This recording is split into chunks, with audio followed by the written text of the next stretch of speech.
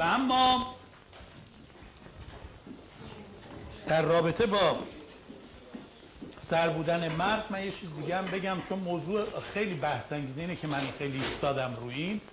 می‌دونم شاید هنوزم شما سوالاتی دارید در این رابطه. ببینید من بهتر بازم یه کمی روشنتر حرف بزنم که شما بهتر بفهمید.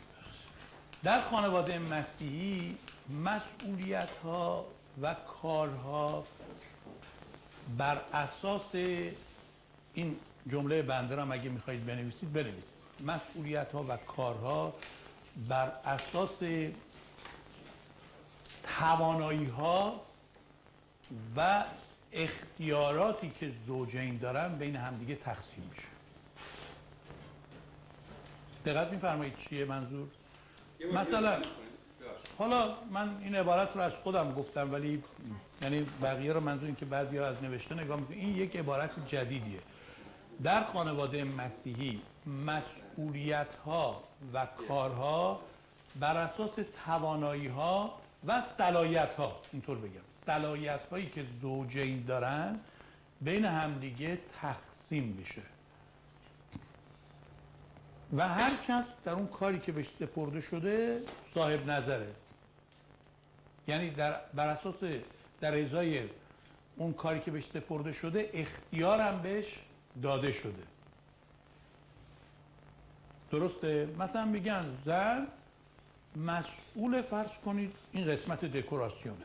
دیگه مرد نباید دخالت کنه. بابا تو مسئول اینجایی؟ اگه من قرار کاری رو انجام بدم بر اساس اون چیزی که تو دستور میدی چون تو تخصص داری.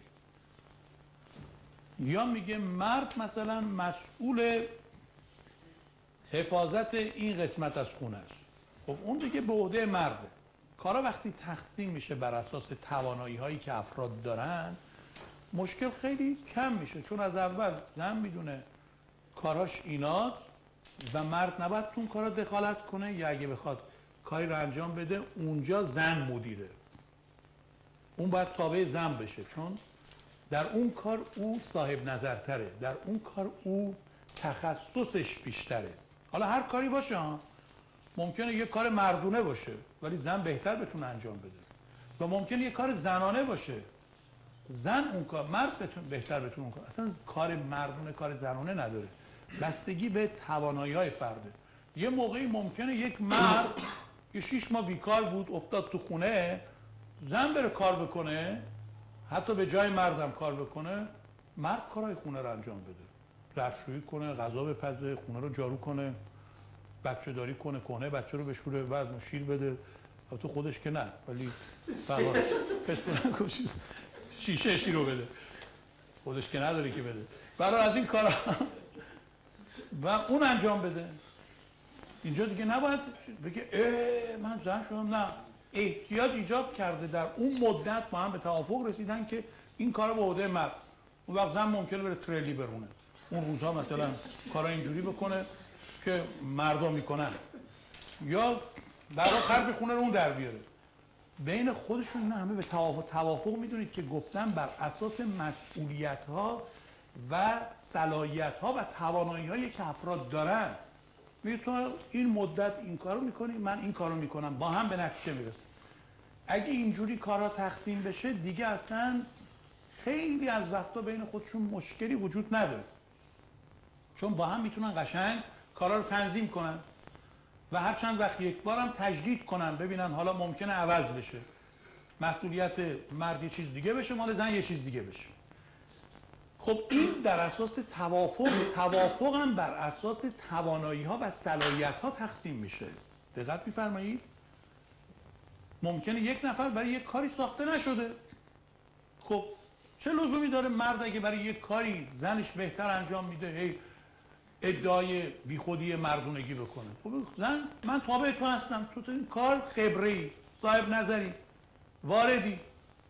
مثل اون مردی که کلاس قبلی گفتم نشیم که از زنش خورده می‌گیره. چرا تو اینقدر محبوب و معروف شدی تو کلیسا؟ من نیستم. خب بابا خدا بهش این عطا رو داده. تو بلد نیستی وضع کنی اون بهتر از تو وضع می‌کنه. تو بلد نیستی جلسه رو اداره کنی یا تو این کار خبره نیستی اون بهتر اداره می‌کنه. خب تو تابع باش. تو یه کار دیگه بهتر از اون انجام میدی اون تابع تو میشه. بنابراین عطایا رو خدا تقسیم کرده و ما بایستی عطایا همدیگر رو خار نشماریم. بپذیریم. مرد مال زن و زن مال مردم. زنونه و مردونه هم نداره. بستگی به توانایی و صلاحیت ها و بستگی به اون تخصصی داره که هر کس تو اون رشته خودش می‌تونه داشته باشه. خب بر اساس اون توافق ایجاد میشه. ولی وقتی که عرض کردم همه اینا رو داشته باشید. توافق صورت نگرفت که ممکنه مثلا از صد تا تصمیم یکی دو تاش اینجوری باشه. اون موقع شما بایستی نقش مرد را یعنی خانوما بپذیرن. من یه مثال از زندگی خودمون بگم. ما می‌خواستیم چهار سال پیش خونه بخریم. خب یعنی اولین بار بود که می‌خواستیم تو زندگی صاحب خونه بشیم. یک سال بود بچه ها دنبال خونه میگشتن با ناید عزیز که خونه پیدا کن تمام تهران رو گشتن. همه جا. خونه یا نامناسب بود یا خیلی گرام بود یا خیلی دور بود یا تنگ و تاریک بود یا محلش خوب نبود. برحال هر خونه یه مشکلی داشت دیگه. آخر سن خود آنایید و بچه ها واقعا خسته شدن. یک سال کم نیست. بعضی جا هم من می‌رفتم باشون. منتها بیشتر جاها چون من مسافرت بودم و یا مشغول کار بودم اونا این زحمت رو میکشیدن. بالاخره یک شب من دیدم اینا دیگه از رمق افتاده بودن. اومدم خونه آنایید گفت ببین من و بچه های تصمیم گرفتیم. ما فهمیدیم که خداوند می‌خواد تو دنبال این کار بری. ما همگی با هم به اتفاق این اختیار رو به تو میسپاریم. تو برو دعا کن. حالا تو جای مسیح هستی برای ما. هر جایی رو تو انتخاب کردی ما همه تابعیم. خیلی مسئولیت سختی به عهده من گذاشت. من داده بودم به خودشون رو دوباره تحفیز دادم به من. گفتن ما فکر می‌کنیم تو باید انتخاب کنی و ما تابعیم ظرف یه هفته بنده انتخاب کرد کاری که یک سال بود نمی‌شد یه هفته ای اتفاقا کدوم خونه بود؟ همون خونه بود که اولین بار ما رفته بودیم یک سال قبل به توافق نرسیده بودیم. من دیگه خودمو کنار دادم اینا گفتم شما برید حالا هر جایی رو شما پیدا کنید من تابم. اونا هم به این نتیجه رسیدن که حالا شد رفتم من اون خونه هنوز خالیه. انگار خدا برای ما نگی همون خونه ای که الان توش میشینیم. خب و تابع شدم بقیه اومدن. با خوشحالی و با رضایت. خانواده مسیحی باید اینطوری باشه.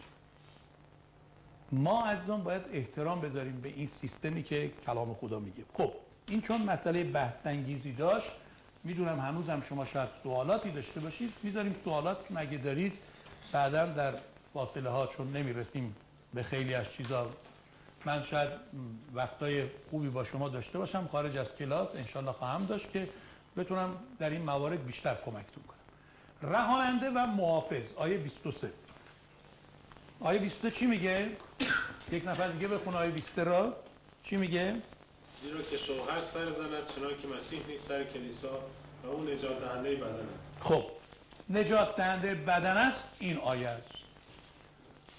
یعنی همینطور که مسیح محافظ و نجات دهنده کلیساست شوهر نیز باید نقش محافظ و رهاننده همسرش از مشکلات و خطرات و گوناگون باشه. نجات دهنده یعنی محافظ. اینجا ارتباط میده مقایسه می‌کنه نقش مسیح و شوهر را. مسیح نجات دهنده بدنش شوهرم حامی و رهاننده زنشه. مرد باید به گونه ای در اقتدار روحانی به سر ببره که زنش بهش بتونه تکیه بکنه. می‌دونید زنها خیلی دوست دارن که به مردشون تکیه کنن. مرد تکیهگاه باشه حامی باشه پشتیبان باشه محافظ باشه. مثلا زنهای ایرانی بیشتر اینجوری اگه یک نفر بهشون زور میگه میگه سر سر من نذارم به مردم میگم ها مردای غیور ایرانی. البته حالا دیگه یه جو غیرت نمونده ولی خب به حال بازم بازم هنوز تو خونه ما ایرانی ها هست. مسائل ناموسی هست هنوز. می‌دونی؟ شوهر دارم من. یعنی حامی دارم. پشتیبان دارم. بیکس نیستم. شوهران باید به علت قدرت جسمانی بیشتری که دارن از همسرشان خوب مراقبت بکنن مثل ظروف ضعیفتر گرانبها همینطور که پتروس میگه. شما ببینید این دیوار اگه الان از دست من بیفته بشکنه زیاد مهم نیست. خیلی ارزش نداره. ولی وقتی یک کریستال باشه یک چیز با ارزش باشه یه جواهر باشه بریلیان باشه که زن شما باید اینجوری باشه. شما ازش خوب محافظت ارزش او رو بیشتر می‌دونید. اینطوری جلوی دست و پا نمیندازید که از بین بره. جای محفوظ نگه میدارید. باید مرد در زندگی خودش نسبت به زنش یه چنین حالت محافظت داشته باشه. رهاننده از خطرات و از فشارهای مختلف در کارهای سنگین بهش کمک کنه در مشکلات و سختی ها و حملاتی که بهش میشه به کمکش بشتابه. نقش یک رهاننده رو داشته باشه سوم محبت فداکارانه. آیه 25 اینجا اومده مانند مسیح محبت کنه. یکی دیگه بخونه حالا این آیه را افراد مختلف بخونن. ای شوهران زنان خود را محبت نمایید. چنان که مسیح هم کلیسا را محبت نمود و خیشتن را برای آن داد. ببینید چی میگه؟ یعنی مرد باید اونقدر همسرش رو دوست داشته باشه که به علت عشق به همسرش حاضر بشه در صورت لزوم جونش رو براش فدا کنه. عجب حرفی می‌زنه. آخه واقعا ببینم یه مرد اینطوری زنش رو دوست داشته باشه اون زن تابع اون نمیشه. شما آقایون حاضرید برای همسری که بعدا انتخاب می‌کنید جونتون رو بدید؟ واقعا حاضرید؟ جونش رو نگیرید. جونش رو بدید. جونتون رو بدید. بعضی میگن جون می‌خوای؟ حاضرم بدم. کیه که بده؟ من در ارمنستان این سوال رو پرسیدم. ارمنستان می‌دونید کشور مرد سالاریه چون از سلطه کمونیست اصولا کشورهای کمونیست همه مرد سالاری توشون قوی بوده. زنها خار شمرده شدن. چون فرهنگ مسیحی حاکم نبوده. فرهنگ بی خدایی همینه دیگه. خیلی خشونت و زورگویی زیاد. خب ارمنستان یکی از اون کشورهایی بوده که از سلطه اونا در اومده. ولی کماکان حتی تو کلیسا اینطوری بود. از من خواستم برم درسای ازدواج خانواده مسیحی رو بدم. اتفاقا همین افسوسیان رو داشتیم بررسی می‌کردیم اونجا. اولا که اینا همه شبان و کشیش و اسخف بودن ها همشون. شاگردای ما اینا بودن. از اونا شروع کردیم. خب مردم هم تو مهمونی هم اینجوری بود. مردا جداگانه مهمونی داشتن زنها جدا. خیلی عجیب بود برای ما. حالا تو کلاس اومدیم مردا این ور زنها اون ور. اولین بار بود که اینا تو کلاس با هم می اومدن من گفتم اولی شرط تاسیس تشکیل این کلاس اینه که زن و شوهر پیش هم بشه خیلی سخت بود. ولی نشستم پیش هم دیگه تازه کمی با فاصله. گفتم بابا صندلی رو بچسبید پیش هم بشن بشونید مگه شما زن و شوهر نیستید؟ هی اینا دیدم با اخم و تخم و ناراحتی. بالاخره مردا یعنی زنها خیلی خوشحال بودن اینجوری بشه. مردا اینجوری مشکل داشتن بعد تو آنتراکت ها من بهشون تکلیف می‌دادم تکلیف های عملی. سوال می‌دادم اینا برن با هم راه برن و در مورد اون با هم بحث کنن. گفتم بابا تو آنتراکت هم ما رو ول کنید. ما می‌خوایم مردا با هم باشیم. زنا با هم گفتم نه باید برید زیر درخت بشینید با هم. اونجا هم خیلی فضای خوبی بود. و با هم در مورد این سوال بررسی کن جوابشو برای من بیاری تو. بعد از مثلا نیم ساعت. بابا می‌گفتن ما عجب گیری افتادیم. ما می‌دونستیم اینجوریه نمی اومدیم من می‌دونم اینا عادت ندارم به این سیستم. در حال خدا رو شکر ما کلی روشون کار کردیم. تا اینکه گفتیم بهشون شما باید وقتتون رو بدید باید پولتون رو بدید به مردا وظایف مردا باید اهمیت بدید ارزش قائل بشید اله کنید بله کنید تا رسید به این آیه. و من همین سوالو کردم که الان از شما چند دقیقه پیش پرسیدم. گفتم مردا چند نفر از شما حاضرید اینقدر زنتون رو دوست داشته باشید که در راه زنتون واقعا حاضر بشید جون بدید؟ دیدم صدا هیچ کی در نیومد. همه خیلی گفتم حقیقتا به من بگید چند نفرتون آماده اید باز دیدم اصلا هیچ کی حرف نمی‌زنه. گفتم ببینم من آیه را غلط فهمیدم یا غلط تفسیر کردم. مگه این آیه نمیگه شوهران همینطور که مسیح کلیسا رو محبت نمود جونش رو برای کلیسا داد شما هم زنهاتون اینقدر دوست داشته باشید که حاضر بشید جون بدید در روش چند نفر از شما حاضرید؟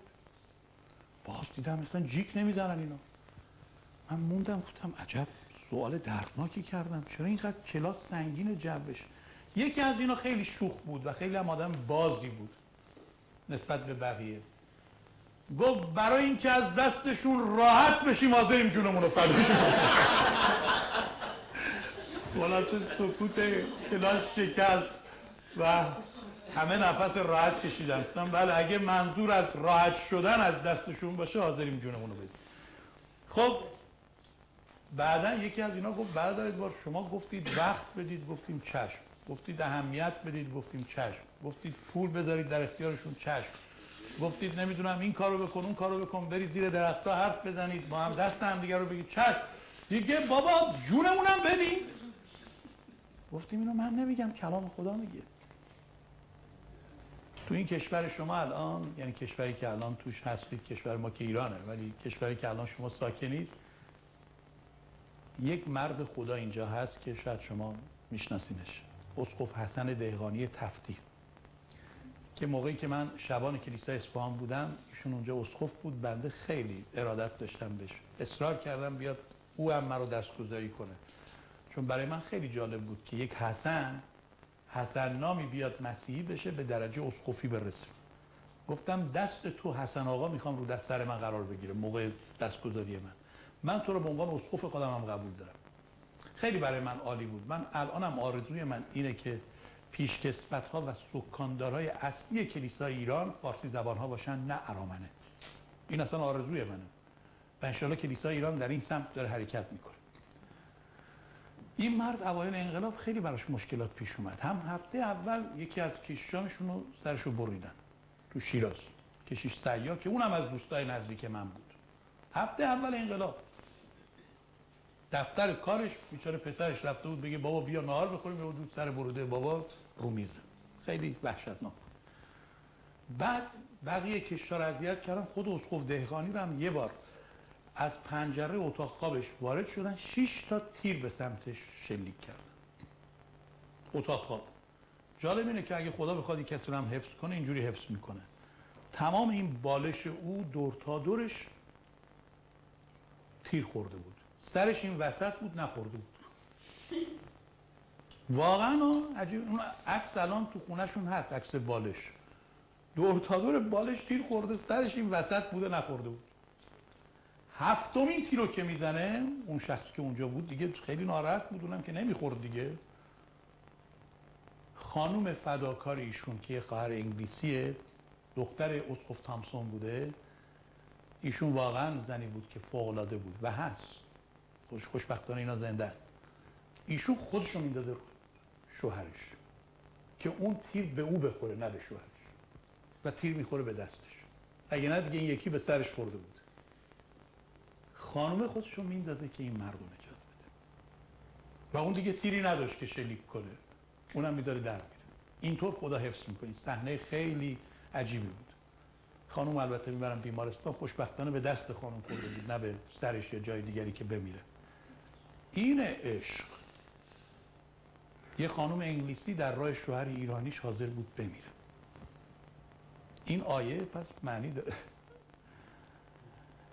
چقدر می‌تونه خانواده موفق باشه وقتی که یک چنین عشق فداکارانه ای باشه؟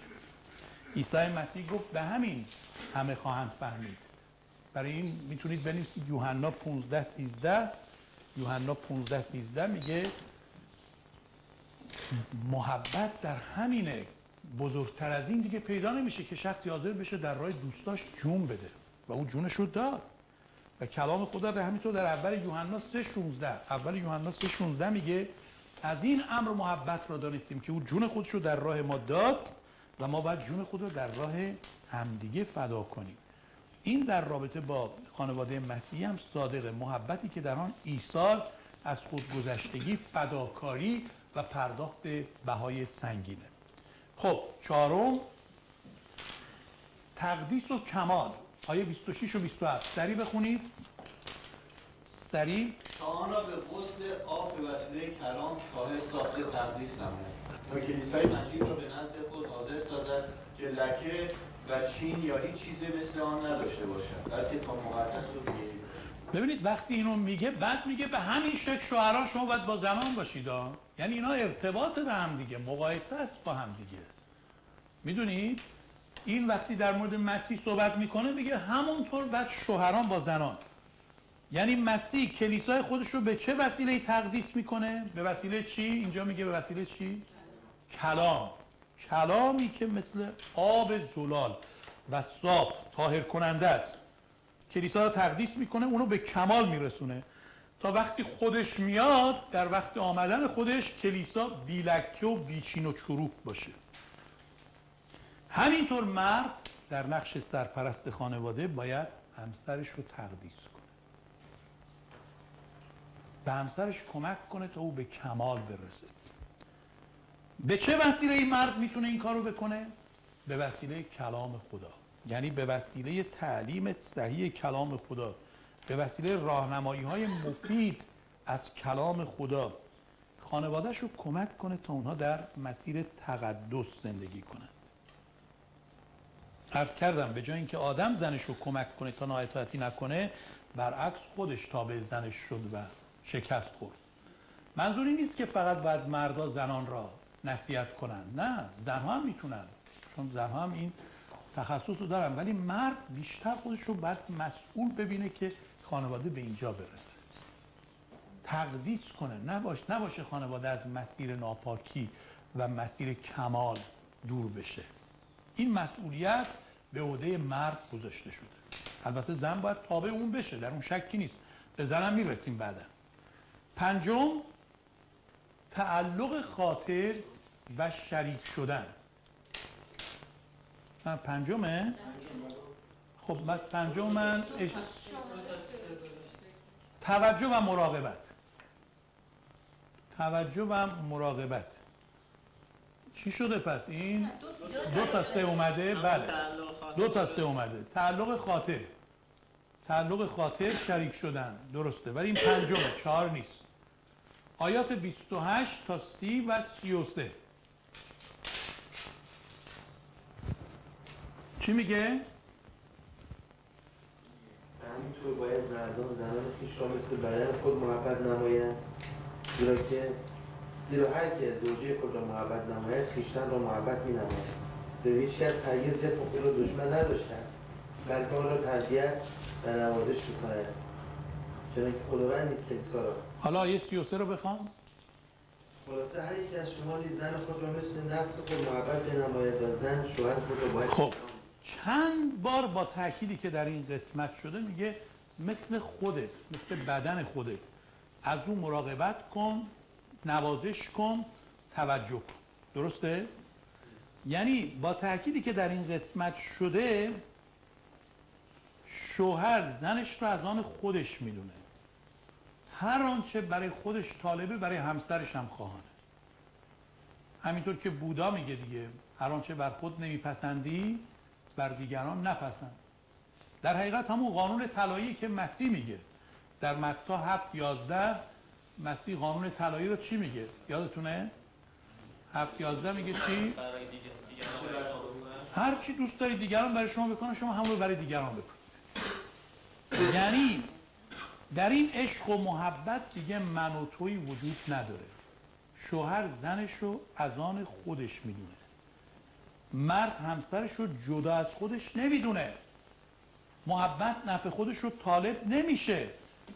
میگه از جسم و از استخوانهای او هستیم چنان که قرائت شد. هیچ فرقی قائل نمیشه. می‌دونید بهترین تعریف برای همسر چیه؟ ببینم کسی می‌تونه بگه. بهترین تعریف که ارتباط داره به این قسمت. برای همسر چیه؟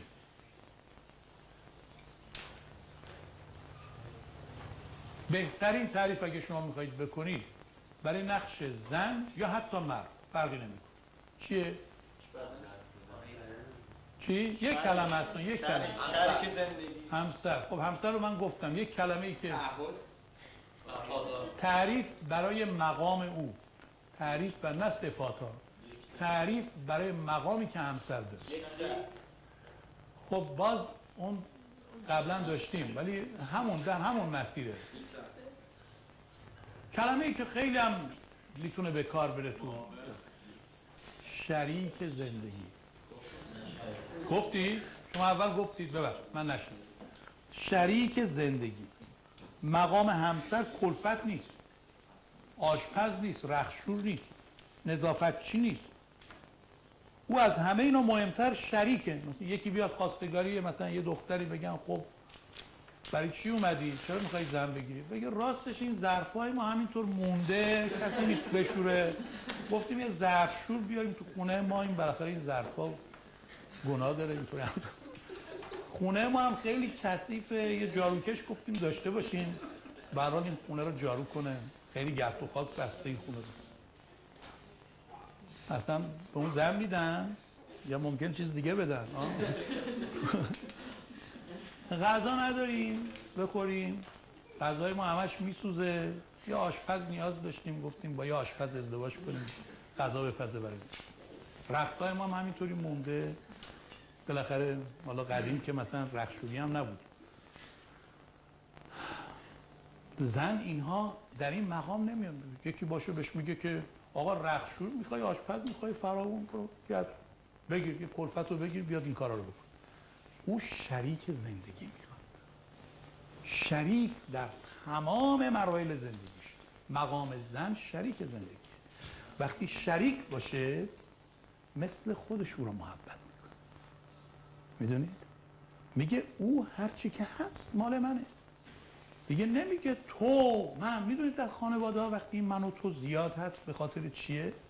به خاطر خودخواهیه اینا هم با هم شریک نیستن و مثل بدن خودش رو نمی‌بینه. در مولوی در مولانا یه داستانی هست که شاید چیز بهتر بدونه که شاعر منشه کیوان. اسم تو درست گفتن؟ آره. اسما رو امروز یادم رفته رفتم تو بحر خانواده. میگه که عاشق رفت در خونه مشهور را زد و بعد مشهور گفت کی هستی؟ گفت من هستم. گفت من کسی رو به اسم من نمی‌شناسم. برو پی کارت. بالاخره بیچاره یک ساعت دو ساعت مون پشت در دوباره در رو زد. گفت شاید حالا حالش به جا اومده شاید ناراحت بود گفت کی هستی؟ گفت بابا من هستم. در رو باز کن منم. می‌شناسی که؟ گفت من که گفتم کسی رو به اسم من نمی‌شناسم. باز در رو باز نکرد. بیچاره گریه ها کرد اشکار با ماه و ستاره ها درد دل کرد و خیلی خالی شد و فلان. دوباره در رو زد بابا منم. دمدمای صبح که دیگه خیلی رفته بود در بحر عشقش در رو زد و گفت کی هستی؟ گفت تو هستی. و بعد در باز شد. خیلی. اصلا مثل کیوان نمی‌تونم شاعرانه بگم. البته اینطور چیزا مال ایشونه. اما به هر حال در عشق مسیحی منی وجود نداره. حالا بعدا معانی عشق رو من بهتون میگم. سی تا از معانی عشق رو نگه داشتم برای وقتی که دلتون می‌خواد عاشق بشید اون موقع خواهم بود. خب ولی بیشتر از؟ گفتی بیشتر؟ ها خب به هر حال در عشق مسیحی این حل میشه وقتی که از خود بدونن. ششم توجه و مراقبت. بله این ششمه. توجه و مراقبت آیه 29 آن را تربیت و نوازش می‌کنه نه فقط مثل بدن خود می‌دونه خودش رو تعلق خاطر می‌دونه شریک میشه. تربیت و نوازش می‌کنه. مانند مسیحی که مواظب کلیساست ازش توجه می‌کنه. ببینید ما از اعضای بدن خودمون چقدر توجه می‌کنیم؟ همین بدن رو. ببینید هر کس بدن خودش رو دوست داره. ما روزی لاقل دست کم سه بار غذا میدیم بخور روزی 7 ساعت میدیم بخوابه. گرمش میشه میپوشونیمش نه نه. درش میاریم ببخشید. کوله رو نمی‌دونم پنکه اینطور چیزا استفاده می‌کنیم یا میدیم فضای باز. سردش میشه میپوشونیم پتو میندازیم روش. لباسای گرم میپوشیم. دردش میاد فوری به فکر مداواشیم نمی‌دونیم به این بد بگذره. همومش می‌بریم تمیزش نگه میداریم. هواشو داریم. انواع اقسام کارا رو می‌کنیم که این جسم در حال باشه زیبا باشه و بهش توجه بیشتری بشه. میگه به همین شکل باید همسر تو ازش تربیت و نوازش بکن تربیت و نوازش رو با هم گذاشته. یعنی تربیت قسمت دیسیپلینه نوازش دیسیپلینی که بدون نوازش و محبت باشه اصلا هیچ نتیجه نداره. باید بهش با مهربانی با لطافت خاص زنانه ازش توجه بکنی. اینا کارهای مرده. معنی ازدواج اینه. ششم هفتم یعنی هفتم پرداخت بها برای پیوند. یکی شدن آیه سی و یک و سی و دو که همونو میگه. مرد باید پدر مادر خودش رو رها کنه با زن خودش بپیونده. همینطور که مسیح جلال پدر آسمان رو ترک کرد و به زمین آمد تا با ما پیوند بشه با ما یکی بشه مردم باید از وابستگی های خانواده قبلیش جدا بشه به همسرش بپیونده که اینو دیگه داشتیم. شخص نمی‌تونه با هیچ عضو خانواده غیر از همسرش یک تن بشه. پس مرد باید همسرش رو مهمتر از والدین بدونه. باید حتی مهمتر از فرزندانش بدونه. باید خدمتتون بگم در حقیقت باید گفت بعد از عیسی مسیح مهمترین شخص زندگی مرد باید زنش باشه. یا شما ازدواج نکنید مردا یا اگه ازدواج می‌کنید اینو نباید فراموش کنید. بعد از عیسی مسیح مهمترین شخص زندگیتون باید همسرتون باشه. حاج آقا مرتضوی نباشه. برادر ادوارد و برادر سام نباشه. خواهر ایکس و ایگرگ نباشه. همسرتون جایگاش اینجاست. این نقش مرده در خانواده. حالا سوال دومی که ما باش روبرو هستیم اینه. نقش زن در نمونه گرفته از کلیسا نقش زن در که نمونه گرفته از کلیسا می باشد در رابطه با شوهرش چیه؟ تو همین قسمت. اگه مرد باید مسیح باشه و زن نقش کلیسا رو در حق او داشته باشه زن که نقش کلیسا رو داره در حق مرد که مسیح اوش کار باید بکنه؟ اینجا در افسوسیان نقش مرد رو بیشتر گفته. هفت تا چیز به مرد گفته دو تا چیز به زن میگه. دو تا چیز که البته اگه این دو چیز رعایت بشه در حقیقت همه چیز رعایت شد. اولیش چیه؟ اطاعت. اطاعت از همسرش در جایگاه و به نمایندگی از مسیح. آیات 22 تا 24 رو یک نفر سریع بخونه. 22 تا 24 ای زنان شوهران خود را اطاعت کنید چنان که خداوند زیرا که شوهر سر زن است چنان که مسیح نیز سر کلیسا و اون نجات دهنده بدن است. لیکن همچنان که کلیسا مطیع مسیح است همچنین زنان نیز شوهران خود را در هر را در هر باشند. واقعا کدوم مرد اگه زنش اینطور اطاعت کنه اونو دوستش نداشته باشه. به این شکلی که گفته شد. و همینطور کدوم زنیه که اگه مردش اینطور رو محبت کنه از او اطاعت نکنه. منتها اطاعت زن از شوهر چی هست؟ اجازه بدید اول بگم باش چی نیست. اطاعت زن از شوهر چی نیست؟ اطاعت به معنی زیر پا بودن زن نیست.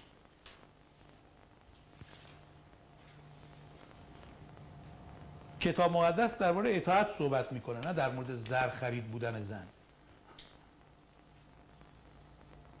زن که برده نیست. شوهر ارباب باشه. اینطور نیست. زن به معنای پیچ و مهره‌ای در دست شوهرش نیست که هر طور بخواد او رو بچرخونه.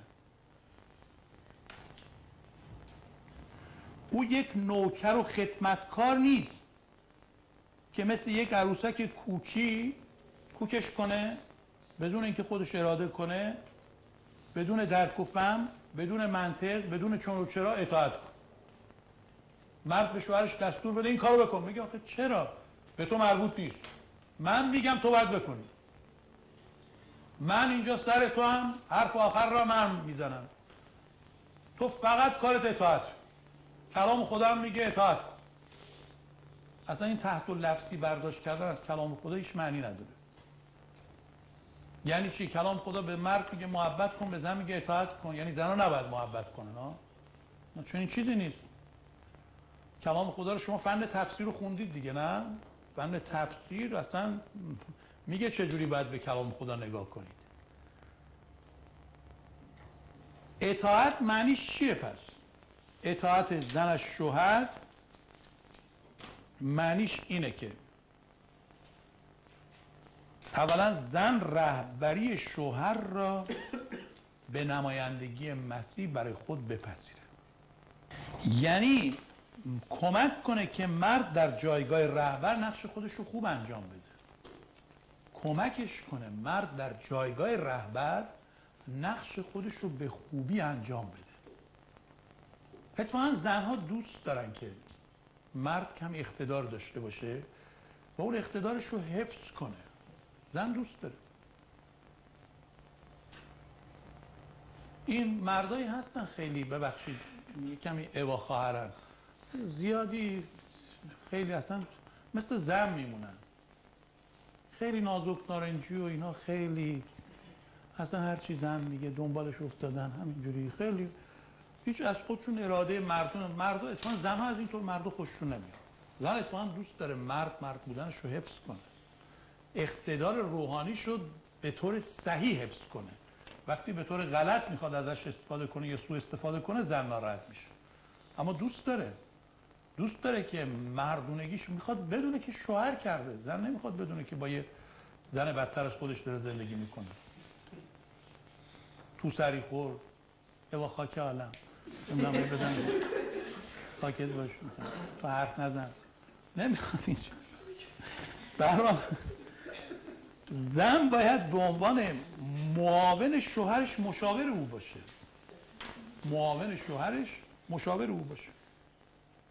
یعنی با هم مشورت کنن.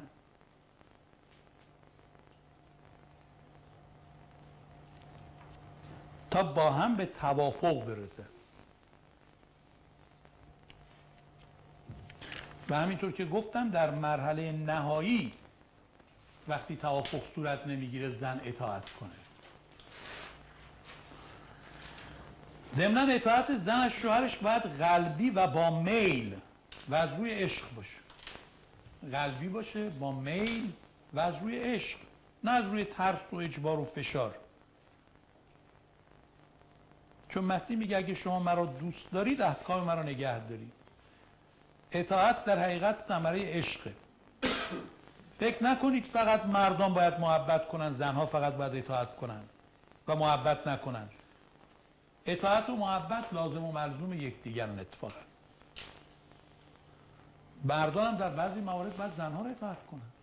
چرا نه؟ وقتی زن حرف درستی می‌زنه منطقی می‌زنه خیلی آگاهانه اتفاقا زنها خیلی از وقتها حرفای خیلی درستی می‌زنن که مردا نمی‌تونن رو تشخیص بدن. اطاعت متقابل محبت هم متقابله. یا فکر می‌کنید مردا احتیاج به محبت ندارن که اینجا میگه مردم محبت کنن زنها اطاعت کنن؟ اتفاقا در تیتوس دو چهار اومده زنها را تربیت کنید که شوهر دوست باشه. کی می‌تونه بگه که مردا احتیاج به عشق و محبت زن نداره زن فقط اطاعت کنه. بله قربان چشم. مردم فقط عشق بورده اینجوری معنی نداره. این دوتا با همن. جایی که عشق باشه اطاعت هم. جایی که اطاعت هم باشه عشق رو ایجاد میکن لازم و ملزوم و مکمل هم دیگرن منتها تاکید به طور خاص به زنها شده در مورد اطاعت به مردا در مورد محبت ولی به معنای این نیست که در این قسمت بخوان تحت و لفظی و ظاهری به موضوع نزدیک بشن. اگه یک جاهایی که واقعا زن براش مشکلی وجود داره از آنچه که شوهر میگه نمی‌تونه بفهمه و توافقی صورت نمی‌گیره مثل کلیسا که به مسیح میگه نه به خواهش من بلکه به اراده تو کرده بشه به همسرش بگه حالا اگه در این قسمت من نمی‌تونم بفهمم اراده تو کرده بشه. منتها اطاعت اطاعت قلبیه دیگه. مگه ما در رابطه با مسیح اطاعت قلبی نداریم؟ مگه مسیح به ما زور میگه؟ ما دوستش داریم که اطاعتش می‌کنیم. و از ترس نیست به خاطر عشق. معنی دیگر یعنی وظیفه دیگر زن نسبت به شوهرش احترامه. در آیه 34 احترام به همسرش در جایگاه و به نمایندگی از مسیح. زن باید شوهر خود را احترام. البته ما در مورد احترام یک درس جدایی داریم که بعدا احترام اصلا زن و شوهر را با هم میشکافیم. ولی اگه می‌خواهید یک عبارت بنویسید احترام به شوهر منظورش چیه؟ احترام به شوهر پذیرش سیستم و ترتیبات سلسله مراتب الهی است. سیستم و ترتیبات سلسله مراتب الهی است. الهی است. یعنی خدا یه سیستمی گذاشته ترتیباتی گذاشته سلسله مراتب در کتاب مقدس هست. زن اینو بپذیره. پذیرش که میگیم یعنی احترام. یعنی بپذیره که بله در مواردی شوهر حرف آخر رو خواهد زد. من اینو میپذیرم. این سلسله مراتب رو برای زندگی خودم قبول می‌کنم. خار نشماره حقیر نکنه بیتوجهی نکنه. مسخره نکنه مقام شوهرش شوهرش رو بی‌اعتنایی نکنه. شوهرش رو واقعا باید به عنوان مسیح خداوند هدیه الهی بپذیره. خدا رو قلبا برای وجود شوهرش شکر کنه. همیشه به وجود شوهرش چه در حضور و چه در غیاب افتخار کنه. مقام او را قبولش کنه. در جایگاه خودش که هست. این خیلی مهمه. بعد یا میگم بابا سلسله مراتب چیه؟ اینا همش حرفه همه ما مثل همین مقام نداریم. نه مقام داریم. منتها مقام به این شکلی داریم. مقام درست و حسابی داریم. اگه سلسله مراتب از جامعه برداشته بشه جامعه چی میشه؟ اگه پلیس مثلا نباشه. جامعه به چه روزی میفته؟ اگه مدیر توی شرکت نباشه اون مدیر به چه روزی میفته؟ نمی‌تونیم که بگیم نیست که. در کل معمولا تو قوانین مدنی بیشتر این مسئله صادقه. مرد مدیر خانواده است زن مدیر خانه. این بیشتر در تقسیم کار هست. نمی‌خوام بگم یه اصل کلیه. ولی غالبا به این شکله. به صورت کلی مرد مدیر در خانواده به صورت جزئی تو کارهای خونه چون زن تخصص بیشتری داره مدیر در امور خانه. ولی این تقسیم بندی ها رو باید خودشون با هم به توافق برسن. چون ممکنه زن مثلا زیاد مدیر خوبی برای خانه نباشه. با هم به این نتیجه برسن. تو این قسمت ها تو مدیر باش تو این قسمت ها من. این قسمت ها از دست تو بعد تو برمیاد تو مدیریت کن. این قسمت ها از دست تو برمیاد تو مدیریت کن. به حال این توافقیه. می‌دونید؟ این یک چیزیه بین خودشون باید به تفاهم برسن. وقتی اینا رو ما میپذیریم در خانواده مسیحی مشکل حاکم نیست. من به تجربه دارم میگم واقعا ما همینطوری زندگی کردیم و می‌دونیم که چی داریم میگیم. چیزایی رو که من خدمتتون دونه به دونه تش... تشریح می‌کنم همش تو زندگی من به تجربه دیده شده. و ما سالهای سال به عنوان زوج موفق و مبارک و خوشبخت معروف بودیم در همه جا تو این قسمت. حالا خدا اجازه داده که ما تجربیاتمون به شما انتقال بدیم. بنابراین خدا عطا کنه که خانواده مسیحی با همین مفاهیمی که گفته شد در ما شکل بگیره. ما فردا اولین درسمان اهداف خانواده مسیحیه. خانواده مسیحی چه اهدافی داره و بعد ادامش نکات دیگه ای هست که خدمتتون خواهیم گفت. از حوصله و توجه شما هم برای امروز خیلی ممنونیم.